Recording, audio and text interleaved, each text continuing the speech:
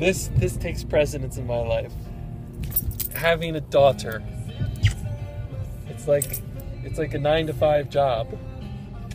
It's a career in itself. We need to make a movie with her.